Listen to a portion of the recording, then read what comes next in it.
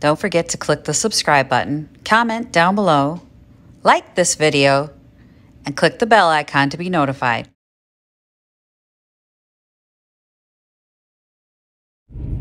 Good morning. I go with Duncan. Mostly because I want to have a happy day. Victoria doesn't have school today. She does school from home one day a week. So her dad's home sleeping and I said, careful please. She said, no. I said, what if I bring your lunch back? Okay, so I'm gonna bring her lunch. oh, you guys, my Hashimoto's kicked up really bad last night. So, from this part of my pinky finger to this part of my wrist feels like it's on fire. My skin feels like it's on fire. That's one of the reasons I want to go have a good day. Because it's just, I can't work when my skin starts doing this. And if this hand's doing it, the chances of it starting elsewhere is going to be good. I need to calm down. That's what I need to do. I need to be not stressed today. So I'm not joking because that doesn't stress me out. It makes me happy. So I'm going to go do my happy thing. That's one of the reasons why I wanted to start my own business is because I can work around my Hashimoto's flares. And today it's flaring up. My skin feels like it's on fire. So I'm going to go to my favorite thrift store in Cambridge. Three minutes early. There's a couple other people waiting too. So we're all waiting to get in. People are milling about in there getting ready for us to come in and blow the doors off this place. Worth it. Worth the drive. Okay, I have to go hang out at the thrift store because the store don't open till 11. Why is your store dying? Hmm. To hang out till 11. It's 10.15. I got 45 minutes to kill in the thrift store. Not my favorite thing to kill time in, but okay. We're going to do it. Oh boy. I got a couple things. I'm having a hot flash like really bad and she's taking her time wrapping stuff and I'm just like melting. Who's ready for a thrift haul? I'm always ready for a thrift haul. I'm going to start at the second thrift store I went to um, before, you know, not my, my, not my favorite one, but it's a good one. Um, 54 inches, two yards of this fabric. So it's a toile, but it's a quilted toile. be careful. Um, it's a quilted toile. It's got the country toile pattern on it. So little farmsteads and people having picnics and stuff. Toile is always good. Um, toile cycles through colors, but pretty much it's always there. It's like a classic pattern. Why do I feel like I'm way low in this chair? Hang on. That's better.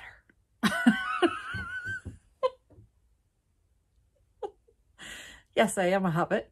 Okay. Anyway, but um, toile is always good to have. So I have um, the blue and white, a red and white, a yellow and red, and now I have the cream and red. Well, it's kind of a cream and a burgundy.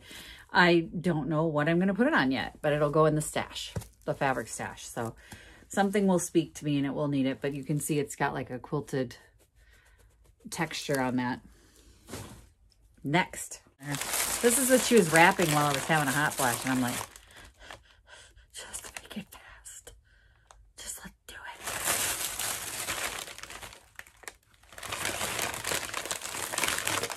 This is kind of a stupid one. It's an iridescent champagne glass. And I kind of wanted to use it for a craft um, to put like the little Christmas trees in the bottle brush trees at Christmas time. So I had seen somebody do just this adorable little vignette inside one of these iridescent glasses. And you can see it's got the kind of the rainbow iridescence to it. And since nobody really drinks champagne out of these anymore, I feel like it's never going to be used for its intended purpose. so I wanted to kind of do like a little Christmas vignette in it, I think. So it's going to be added to the craft stash just what I need, right? More crafts. We'll see. Maybe I'll drink out of it first. Blue and blue enamelware. Love enamelware. Enamelware sells. This one's fairly clean too. Makes that all burnt. A lot of times on the inside they'll be burnt. Tiny little chip there. There's not, it's not bad. not rusted, but it's blue and blue. Uh, the speckled granite ware, that's what it is. Granite and granite ware, enamel ware. It was 650 I'll make a profit on that. I'm not sure what I'm going to charge for it yet. An old potato masher. I'm actually going to make this into a recipe card holder. I'm going to drill a clip onto here and make it a recipe card holder to sell. Just a quick little upcycle for that. It obviously cannot be used as a potato masher any longer. Somebody like went to town on it too. Check that out. It's not even standing upright anymore. It's like, know very little about this piece. This is another one of those, mm, I think I'll try it. It's made in England. It says American Heritage Millennium Collection, dishwasher and microwave safe. So it's not as old as I would like it to be. But it's got Grant and Lee in the Civil War signing the treaty, I'm guessing, the, the surrender. I don't know.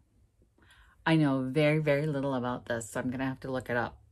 If worse comes to worse, it'll be cute with flowers in it. You know, they had it on their blue tag, which is antiques. This is not an antique. It's not an antique. It's, they have dishwashers at the point where it was antique or microwaves. So if it says microwave and dishwasher safe, you can be guaranteed it's not an antique.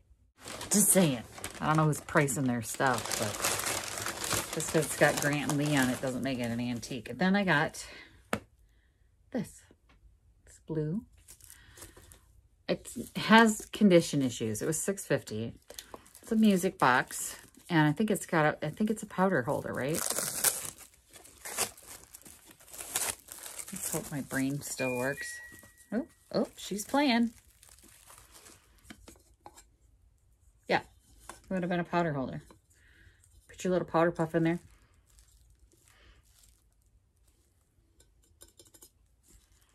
So um, some of the little beading has come off the top, but they sure don't make them like they used to, do they?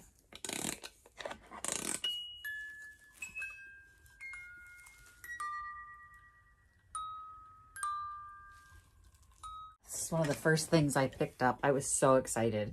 It's $6. And it is a fluted lamp, obviously. It's probably from the 1930s, I would guesstimate. I don't really know. There's no um, provenance or uh, details on there. I mean, it's, I would guess it's the 1930s based on the style. Kind of that sleek line deco look. Um, just needs a really great glam shade. And it's just, who would get rid of this? Look at it.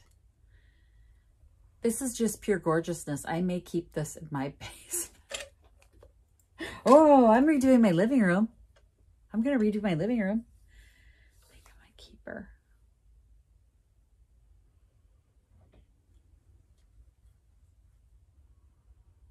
Yeah. I think I think she's staying with me. Now I'm just going to need a really great lampshade.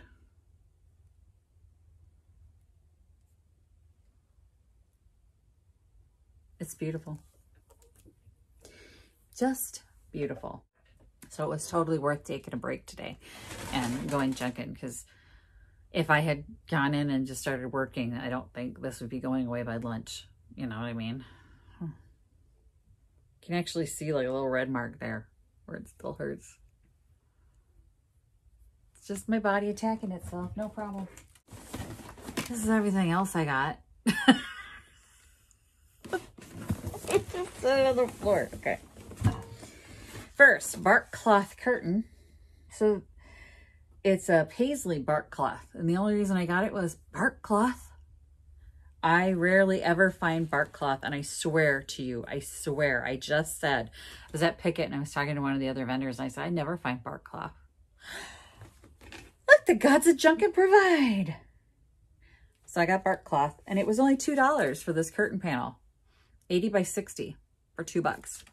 And I was looking at bark cloth at a vintage place and they wanted $50 for just like this tiny little square. And I went, oh, I don't want bark cloth that bad. But bark cloth comes from its texture, obviously. If you're watching this and you do vintage stuff, you already know that. So this is for everybody who just didn't, who stumbled upon me and went, what the heck is that bark cloth? My sister, who's a sewer, didn't know what bark cloth was. And I'm like, well, it's a thing. $9. It's all wooden spools, all different eras of wooden spools. So I was kind of looking at it going, and do I want to pay $9 for it? Do I not want to pay $9 for it? And I finally convinced myself I would because wooden spools always sell. There are people that collect them to build cabinets, to build shelves, the spool shelves. Um, they're still doing it. Some people are still doing it. So there are people that are still looking for these wooden spools. And I now have an entire jar full.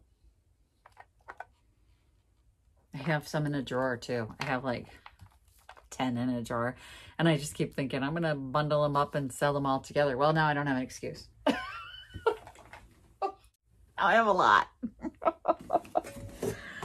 um, cake topper. So cake plate topper. Didn't have the plate. Doesn't matter. It doesn't matter. These aluminum ones, these like 40, 1940s, 50s aluminum style cake toppers, people buy them and then they put them on their own. Like you make the pedestal with the wooden plate and then you have this put over the top. Ooh, pretty. I sold so many of these. And then I have one that has the plate. They don't want it. they just want to buy the top. And I'm like, no, you can't have just the top. That's a set. This was a dollar. So for this, uh, they can just have the top. It was a dollar. It's awesome. It's in perfect condition. Um, I got these because I don't need them. It makes sense in my head. I don't need them right now. Let's put it that way. So, these are the backs for knobs. And I had a situation, I want to say, during the 100 Project 100 Days, I was putting together something and I kept thinking, I wish I had one of these. Well, I have now a bag of them. And I can paint these any color I want. I can, you know, they're they're fairly plain. Nothing too extraordinary or extravagant. And uh, yeah, just to put behind a knob.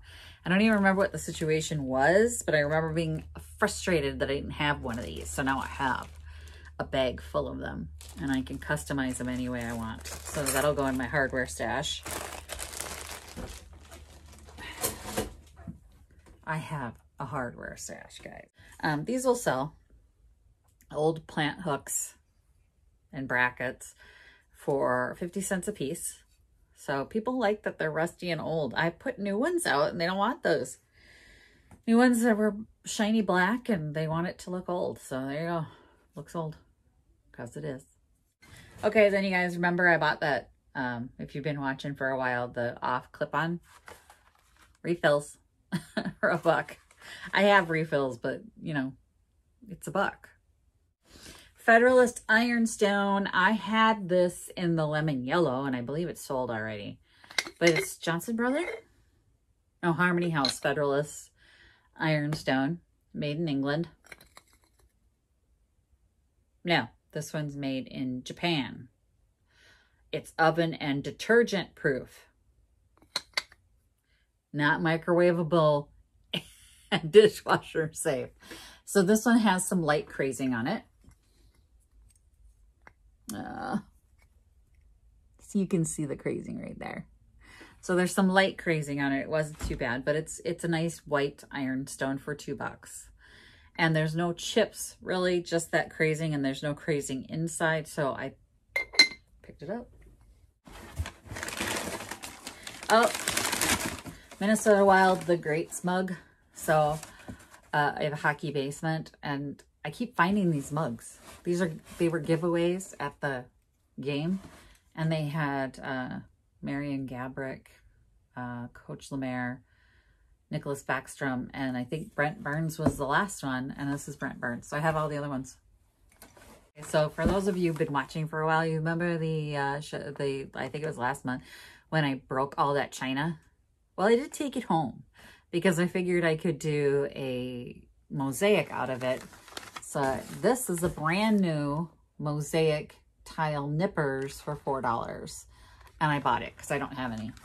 I don't have tile cutters or nippers. And I figured if I need to take the sharp edges off, there you go. So I have all that porcelain and stuff that I broke. I'm going to try and turn it into something. This Cole Porter 45. It's a Cole Porter 45. And mostly I got it for the artwork and the fact that it's from Woolworth & Co. for 79 cents. It was 50 cents when I bought it. But look at the art. And then inside is not actually Cole Porter. Well, I should have probably looked at that. Twas the night before Christmas. Decca Records. And uh, it came upon a midnight clear. It's like a Christmas music inside of it. And so it's a good thing I bought this for the artwork because it's not actually what's in there. Ah. But I did. I bought it simply for this cover.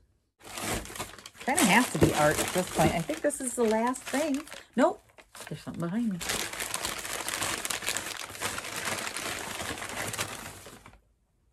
Milk glass. Um, it's just a vase. It's a smaller vase. So I find the taller vases a lot, and a lot of times I'll find it with the hobnail on it. And this one had the pressed glass textured piece. I want to get a bunch of these. I find them all the time for 50 cents. This one was a dollar. I find them at garage sales. I want to do a display of them because I think they're super pretty. I don't know why I find these really peaceful and charming. I mean, my grandma had them, my mom had them. I think everybody I've ever known has had the the milk glass vases, right? I I may even have mine still. I find them really charming. I find them really peaceful looking, and I kind of wanted to get like different sizes and do a little vignette on my buffet. And this is one of the smaller ones that I've seen because normally they're like, here's a water bottle so you can see the size because they're normally like the super tall ones. And this was a smaller one for a buck. I'm like, yeah, somebody nail polished the bottom of it. I don't know why. Why would you want to paint this? Don't make me do a DIY fix again. Last but not least is this piano bench back here. So this is just a standard size piano bench and um, benches sell. So I just finished my old piano bench, which is taller than that one. Um, I'm going to quickly paint this one up. I'm probably just going to give it a quick spray paint. It's a mid-century piano bench. Nothing special about it with a black vinyl seat. The seat's torn. It was five bucks. So I'm going to give it a quick spray paint of the legs. To paint it white and throw some fabric on it. Oh, maybe I'll put some toile on it. There you go. Toile. Um, maybe. Although I got kind of a floral fetish happening at the moment. So it'll probably get flowers. But that's everything. I'm glad I went junking. I'm feeling better. And hopefully the spot, it's just a little spot now. But that would have been all down here. It's not hurting as bad. So I can kind of get back to work now. Um, like I said, it's nice to be self-employed so that the days that it hurts, you can kind of go, go do something else for a minute. And this is still part of my job because I have to find inventory. So I don't feel guilty at all when I need to take those times and just go junking, even though it is kind of my happy place. But being at my shop is my happy place too. I love being in here and painting. But right now, no painting. I have to go and figure out what to pack for um, the booth for Picket, the big booth. I'm going tomorrow to work on big booth. So actually this blue desk that's behind me, I need to get the hardware on it and get it out the door. And unfortunately, the lock plates are probably not going to be here until it's actually almost time to open the store. According to Amazon, the 29th, which is tomorrow. Eh, maybe it's like a photo finish, but it could be anywhere from now until the 4th and we open on the 5th. And usually please be here tomorrow. Please be here tomorrow. Because then on Friday, I can get those, um, the lock hardware put on. So what I'm looking for is I ordered two new ones of these, the lock plates, because I wanted them to match. And I didn't find one exactly like that with the rope detail around the oval. So I bought two brand new ones and I'm going to get them on there. And I need to get the knobs on there and get it loaded in the car and ready for tomorrow. I got to go to Picket. And I think I'm going to take that green laundry basket too because I have to I have to take a lot out this month. Anyway, I better go figure it out. Visit my blog, peonylanedesigns.com, for more tips, tricks, and inspiration. Thanks for watching, everyone. If you like this video, please give it a big thumbs up. Don't forget to subscribe and click the bell icon so you'll be notified of new videos. I post every week DIY tutorials and, of course, more Junkin videos.